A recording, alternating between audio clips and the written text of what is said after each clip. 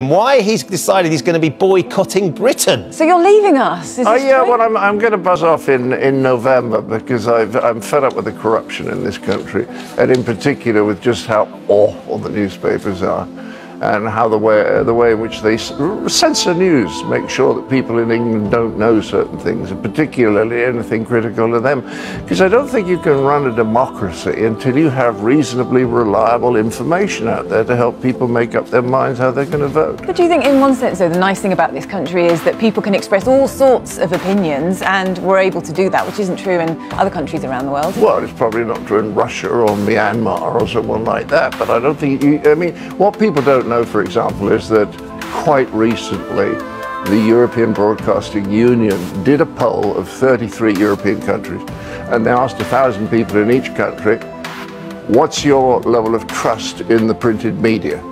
And uh, England, UK, became bottom. That was very low. 30, 30 not, not, not very low, bottom. But maybe we're not very No, trusted. but wait a Do think we're Four, hang on a second. Four years in a row. Not one fluke. Four years in a row, we have the press that's the least trusted press in, in, in, the, in Europe.